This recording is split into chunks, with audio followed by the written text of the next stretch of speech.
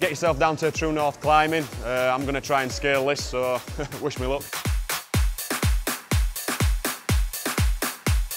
I love the Wolfpack, I love rugby league. I've been probably a little too obsessed with it. When I heard they had player sponsorships, Greg just felt like a good fit. We opened the place a little over eight years ago. We've got four different kinds of rock climbing. It's a great day to come and enjoy yourselves with your family.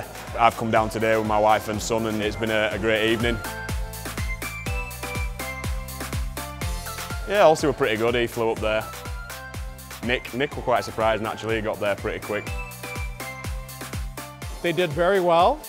I think they're a little competitive about it. Tell him when he comes down, go, oh, sorry mate, but you, you touched the red bit. Yeah, just in there. Thanks, Gal. You gotta go Gotta go again. I think Greg was a little nervous the first time. My climbing was pretty poor, not the best there. The first climb, he was kind of getting his feet, but by the last one, he was just charging up the wall.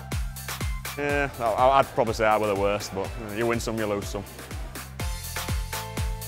It's a you know, brilliant day out for the family, kids, you know, adults, really a testing challenge getting up the walls, so get yourselves down and have a good day out.